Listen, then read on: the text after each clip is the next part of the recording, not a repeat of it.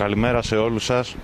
Ε, αυτή τη στιγμή είμαστε στη καλύτερη δυνατή φάση που θα μπορούσαμε να είμαστε με την έννοια ότι το νοσοκομείο εφημερεύει αύριο πάλι.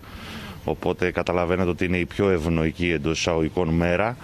Ε, φαίνεται ότι αύριο θα αρχίσει η εφημερία με πολύ λίγα κρεβάτια κενά. Μιλάω για κρεβάτια COVID. Ε, γύρω στα 15 κρεβάτια.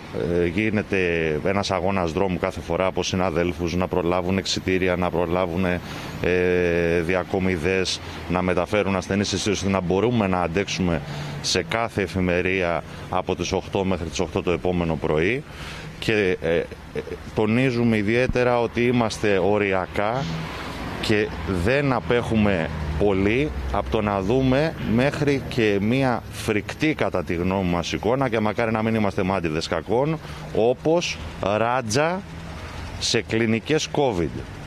Είναι καλή η επιμονή, η υπομονή, όλοι θα κάνουν το παν, αλλά δεν μπορούμε με υπομονή και επιμονή να γεννήσουμε κλίνες, ούτε μεθ, ούτε απλές κλίνες, ούτε κλίνες COVID. Και το λέω αυτό γιατί κάθε φορά είμαστε στα όρια μας Κάθε νοσοκομείο δημόσιο είναι στα όρια του και πρέπει να επιταχθούν μεγάλες δομές που έχουν εξοπλισμό γιατί κάθε μέρα δυστυχώς υπάρχουν πάνω από 100 συνάνθρωποι που είναι διασωληνωμένοι και ψάχνουν κρεβάτι μεθ στις λίστες του ΕΚΑΒ.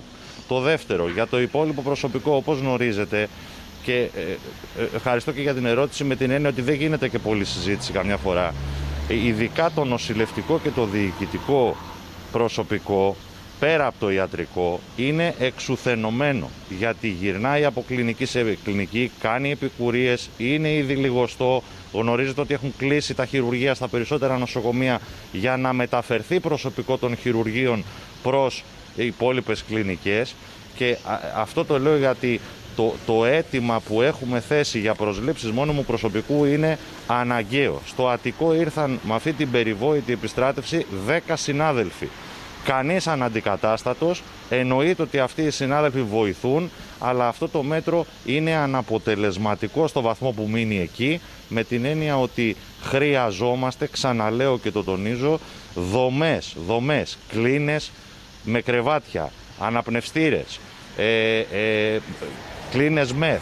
Αυτά είναι τα μεγάλα προβλήματα αυτή τη στιγμή. Έστω και στο και πέντε λοιπόν πρέπει να πάρθουν μέτρα γι' αυτό.